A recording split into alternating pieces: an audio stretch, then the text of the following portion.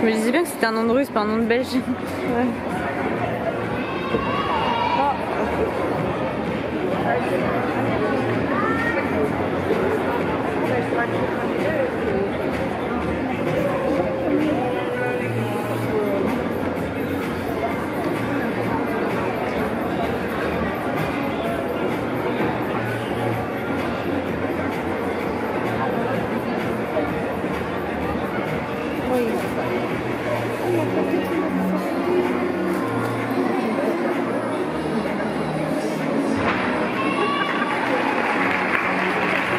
вся дорога.